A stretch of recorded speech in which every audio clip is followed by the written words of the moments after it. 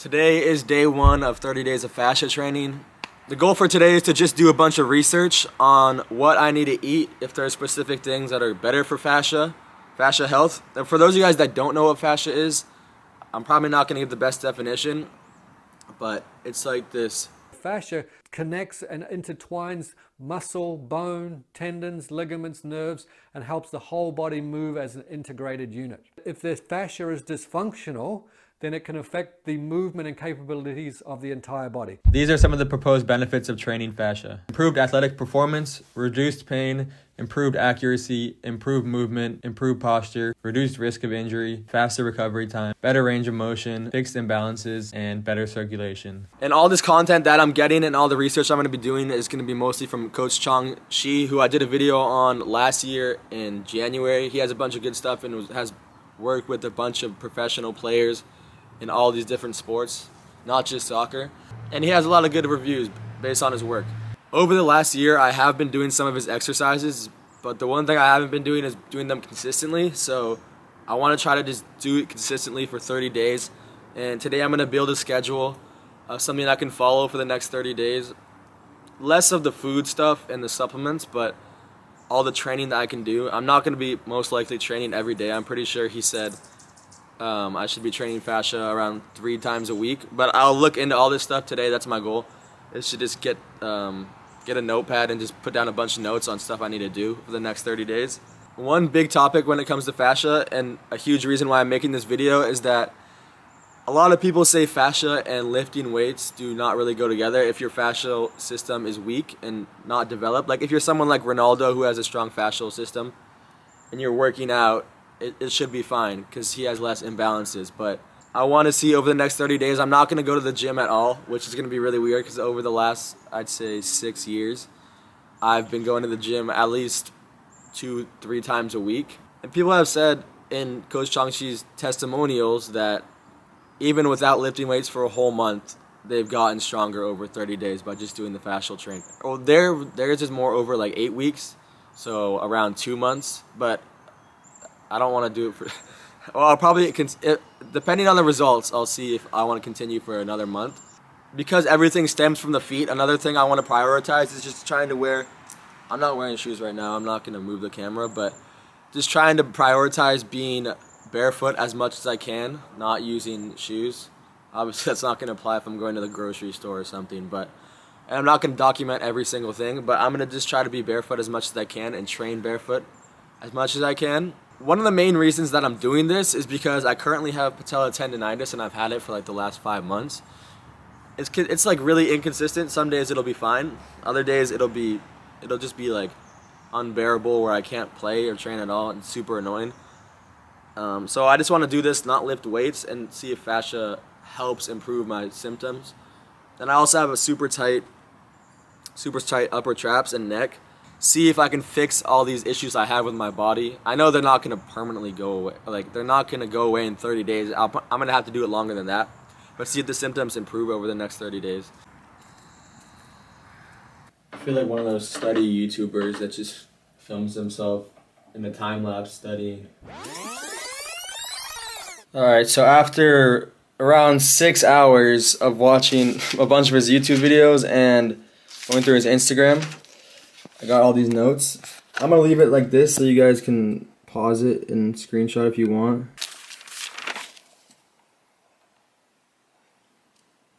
Hopefully you guys can read all this stuff.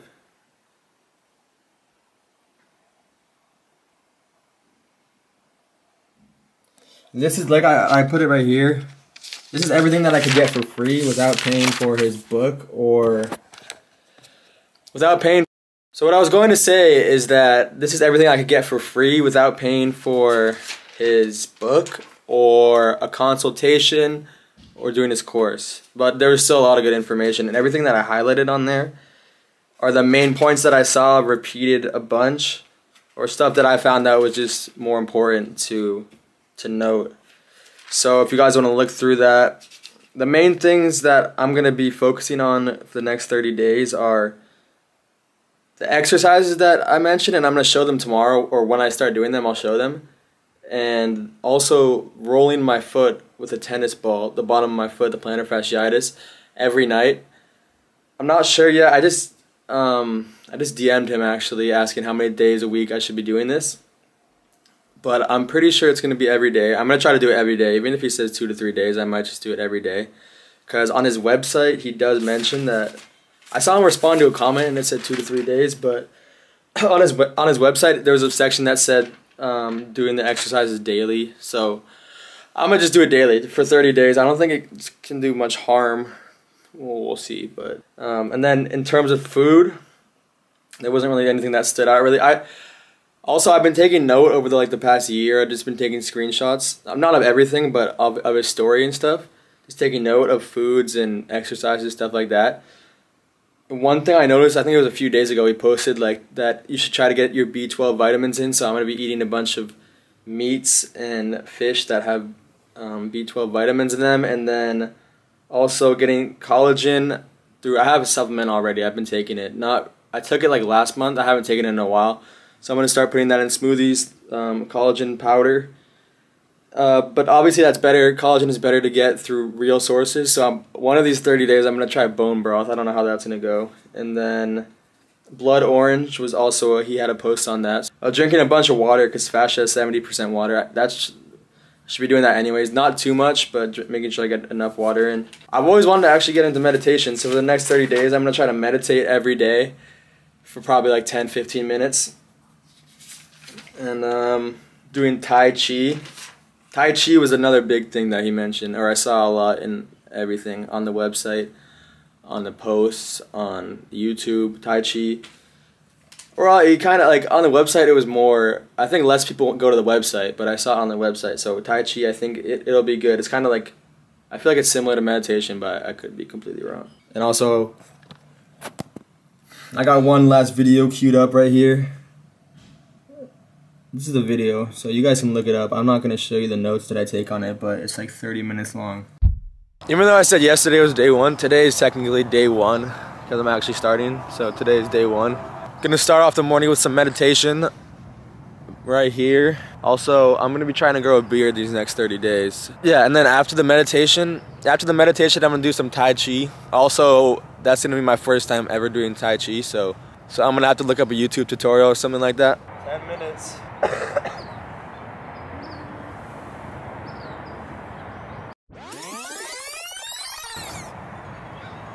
I think I need to clear my nose because my nose is super stuffed.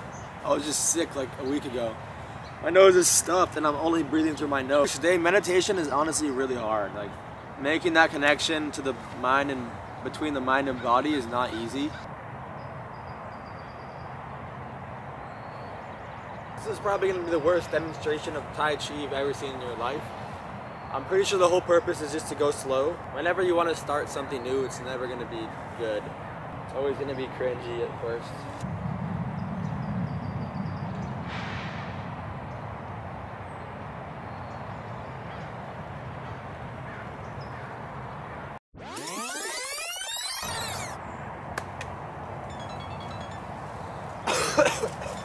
I was like starting to feel stuff in my hands when I was really like conscious about what I was doing with my hands.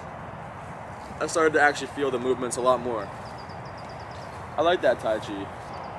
Now I'm gonna head to the field to get all the baseline testing done. All I'm, all I'm actually doing is uh, I'm gonna do, be doing a sprint. I think a half field sprint and a vertical jump. To keep all the variables consistent, I'm doing it right in the morning. I haven't eaten anything today and I'm also doing the barefoot.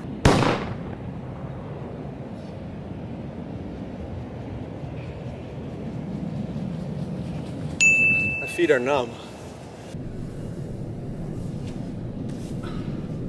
Alright, that's all I get. Like I said earlier, I have been doing the towel curls, but they're with like this kitchen towel and it was definitely the worst material to use for that. I wasn't really getting good traction either, but I got a better towel right here, cotton towel. So I'm going to be using this now, laying it flat, obviously. And then I got a tennis ball, I got a baseball too. I'm not going to use that though. Got a tennis ball, and then I just need to get a marble.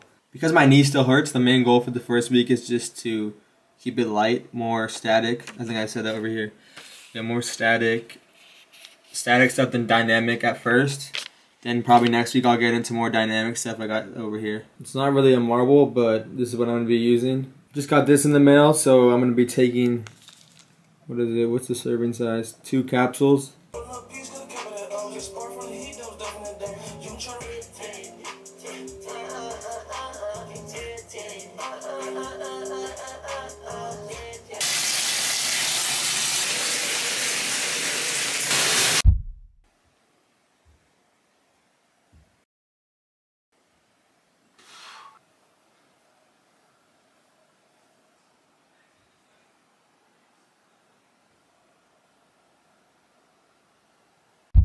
While I'm editing this right now, I realized I forgot to mention that I adjusted my foot positioning from day two to day four to have the foot I'm doing the towel curls with in front of the other one. On day two, it was behind it. But I was watching, I was rewatching Coach Chong Xie's videos and realized I was doing them wrong. Today's day five, and up until now, I've been training my lower body. I only trained it twice, like every three days. I've been training it. But you know, I'm just gonna start training that every day now, or I'm gonna at least do the towel curls every day now.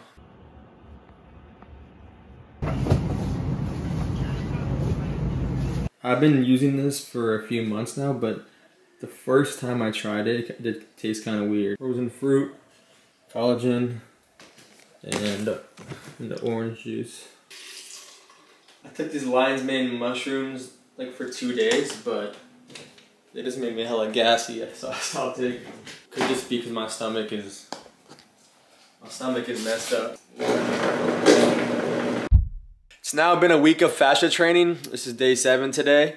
Just want to give you guys some updates on how everything is feeling, how I feel, how my knee feels in terms of the patella tendonitis, and then also how my body feels in terms of how if I feel more explosive or just more athletic in general. First of all, my my knee pain, my patella tendonitis.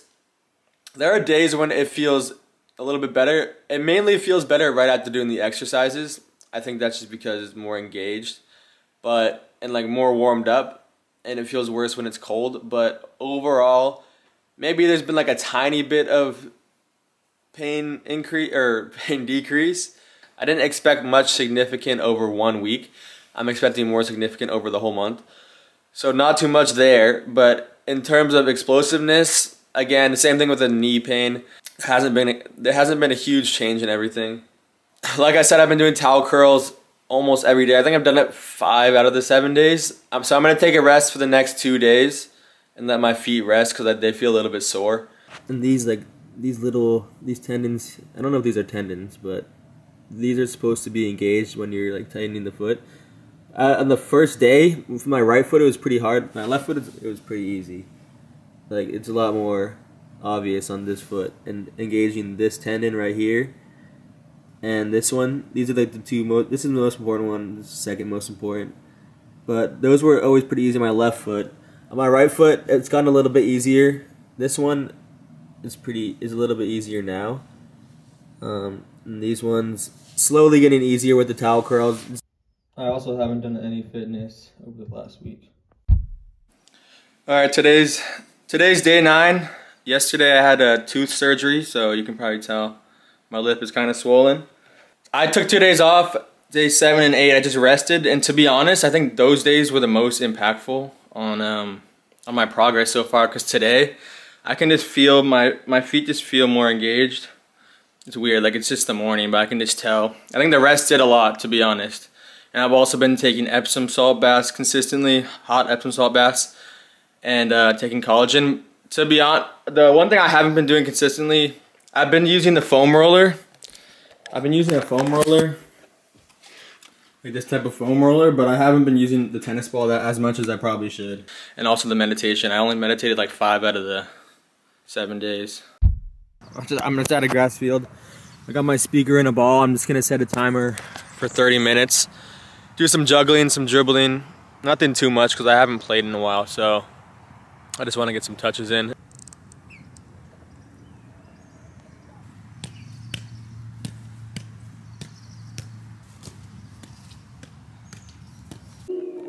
Finish off day 10, we got some rolling, some towel curls, and then some of these saber si te veo por ahí.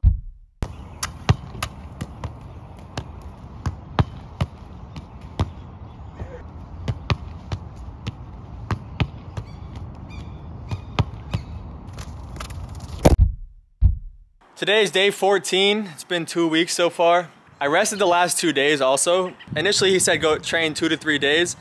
And then I said, oh, I'm gonna train every day. But to be honest, the rest days have had the most impact on my body and I can tell there's a difference after I rest. Like the day when I wake up, I can tell a significant difference. So from now on, I'm gonna be training, train one day, rest one day, train one day, rest two days, train one day, rest one day, and so on and so forth. My patella tendonitis is still there, improved a little bit, but I'm gonna step things up now and do um, some more exercises that I haven't been doing so far. I've only been doing towel curls and stuff with marbles. And also just increasing the time on the towel curls to I think four minutes each side now. Probably do two sets though, two minutes.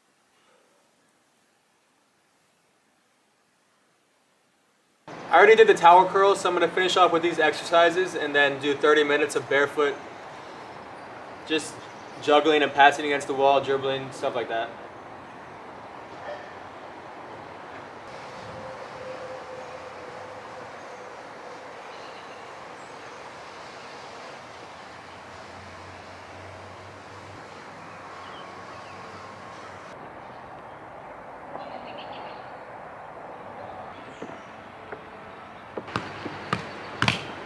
Gotta do the last exercise.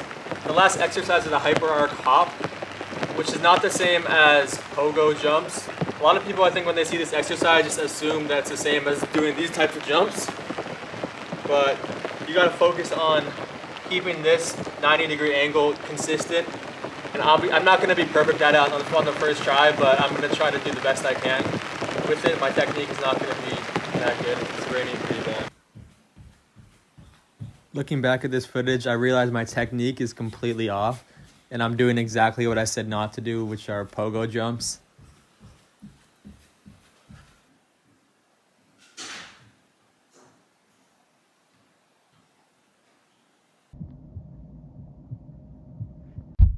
The good thing about filming myself doing these and reviewing the footage is that I can fix what I'm not doing well. So I realized uh, editing the video back that I'm not lifting my heel enough.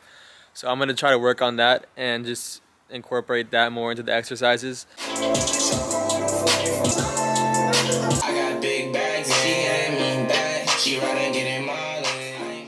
Once I started to lift my heel higher and adjust my technique on certain exercises, I realized they were way harder than before.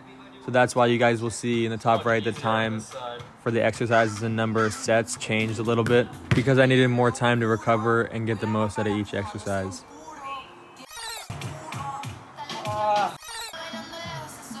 So much harder when you do it right. You guys know how it feels when you get a pump in like your bicep or in your quad, how it's like rock solid? That's how it feels in the bottom of my foot right now. I'm gonna try to play for 20, 30 minutes, but I don't know how long I'm gonna last because my foot actually feels like it's gonna tear. In terms of my imbalances in my right foot and my patella tendons in my right leg, both of those have actually gotten so much better since last Thursday. Last Thursday was the start of week two. I didn't want to mention anything until now to see if it was consistent over the week. But the one leg exercises here, as well as the jumping, and I forgot if I added anything else. But those and doing longer towel curls actually helped a bunch. And my, I don't feel my knee, I really don't feel my knee that much. This kind of feels weak. There's no pain there when I'm jumping. After three weeks, I'd say I feel the fascial connection in my left leg go up to probably around my hamstring. And my glutes, maybe 50% of the time, it's just really inconsistent. But with my right foot, it's always been worse. Uh, I mainly feel it just in my Achilles and my calf. I'd say like 10% of my glutes. I just finished all the other exercises. I just want to show you guys the last exercise I'm adding with these 30 days. It's just a lunge, but the whole purpose of the lunge is keeping that foot elevated like always and then engaging the glutes instead of the quads. Also, I don't know how the how far my foot should be. I can actually feel it in my glutes right now. I'm gonna hold that for a minute and do two sets on each leg.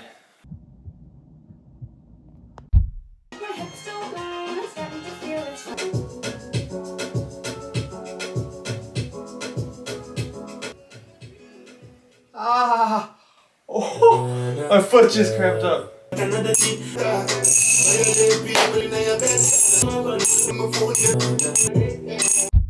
Today is day 29, the last workout of the 30 days. I'm doing the same workout I've been doing for the last week. And tomorrow we're gonna see the results. Like and subscribe. I think it was week one where I showed this, how it's so easy for me to do the tendons on this side.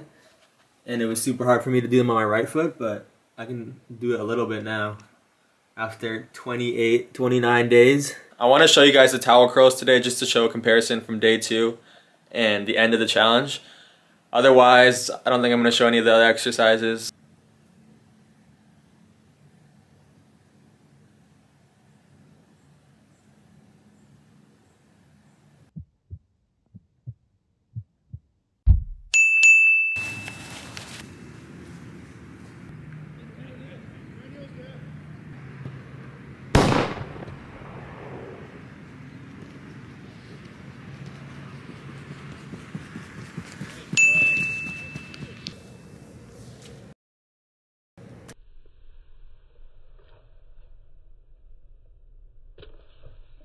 Feel like I put my whole life on hold for this challenge. I want to start off by saying I wasn't consistent with everything. Only thing I was consistent with were the exercises. When I had them scheduled, I would do them. Epsom salt baths I was doing every day. And meditation, I'm not gonna lie, I only really did that the first week, maybe like once after that. The food I was kind of consistent with, maybe like every few days I would have the co collagen supplements. So just to put that into perspective when you hear all these answers. The only thing that really does matter are the exercises. I feel like at the end of the day, the exercises did do the most for me in terms of benefiting my athletic performance. It's hard to measure a bunch of stuff because there are so many variables, but that's just how these self-experiments work. Patellar tendonitis, like I said in week two, it improved a lot. For the most part, I don't even feel it anymore. It just feels a little bit weak. Some days it does come back. That's mainly if I'm if I don't warm up. I feel like when I don't warm up, it just gets worse. And my shoulders, my traps, I said at the start, those haven't really gotten better. I've been doing rolling on the on my foam rolling on my back. I think it's just the way I sleep, to be honest. And my imbalances, my right my right leg still feels weaker than my left. I don't expect everything to be perfect after 30 days, but there were improvements in terms of that. Imbalances on my right foot and right leg did go away a bunch after week three, I'd say like day 25 or so. I felt more stronger in my right leg when I was doing certain exercises. Also ankle stiffness, I have written here, on, around day 27, I felt a lot more ankle stiffness when I was jumping. My heel wasn't touching the ground as much. I didn't do any fitness or training, so I gained a bunch of weight. I've been trying to bulk anyway, so I'm eating more. So keep that in mind. It's gonna be probably different results if you're training at the same time. It could be probably better, if I'm gonna be honest. Or don't overdo it. My feet were sore a bunch of the days, so I'm assuming if you're training on top of that, they're gonna be even more sore.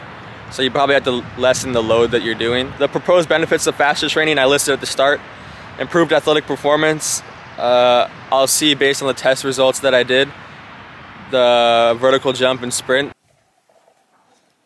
I just reviewed the footage and compared the vertical jump and sprint from day one and there was not much of a difference. The one small detail I did notice in the sprinting was my technique improved a little bit in the jump, my knees were bent. It's hard to measure if I improved based on all these different angles I was filming at. And when I started the sprint, when I started the timer and the editing, it's it's confusing. So I think it's really hard to measure these things. One thing I didn't mention at the field is that I felt a lot more springy and just on my toes. So I think that did improve in that sense. Reduced pain, yeah, my, my pain reduced in my right knee.